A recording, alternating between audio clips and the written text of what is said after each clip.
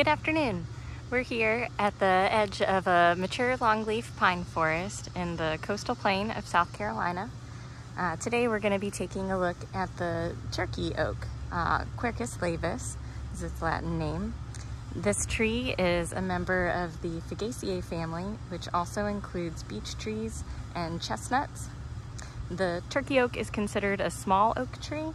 It grows 20 to 30 feet tall and it prefers uh, dry sandy soils and it's often seen growing in the understory of longleaf pine forests, uh, just as we see here. we'll take a closer look now.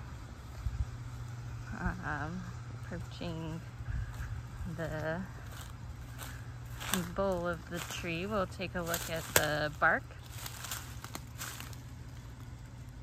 And as you can see here, the uh, bark of this tree is dark grayish brown with deep furrows and some scaly ridges.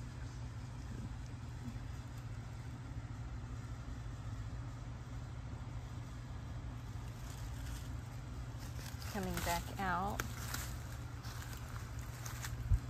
we'll take a look at the twigs and the leaves of this tree to help us um, with the identification. So as you can see here, the twigs have these uh, terminal buds on them that are reddish brown and uh, very pointed. The turkey oak got its common name from the shape of the leaf, which can resemble a turkey's foot. You'll notice they have uh, generally three to seven bristle-tipped lobes. you can see they're very, uh, the lobes are very pointed at the end with these little tips on them.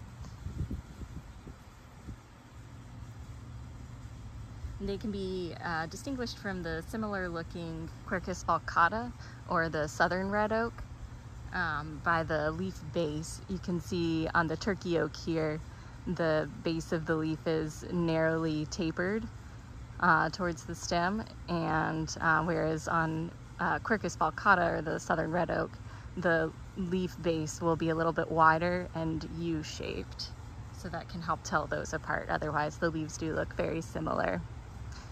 Um, another thing you'll notice on the turkey oak is uh, the acorns. The acorns can be quite large uh, for an oak. They grow up to um, around a, about an inch um, in size. And uh, they take two years to mature, uh, which is characteristic of the red oak varieties.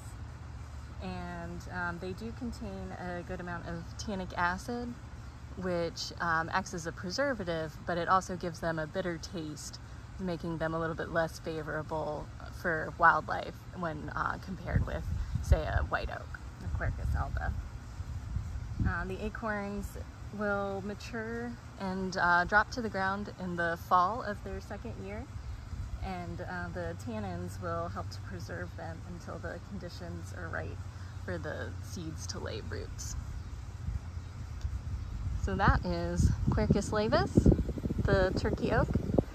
I hope you've learned a few identification points and you can go out and find a tree near you.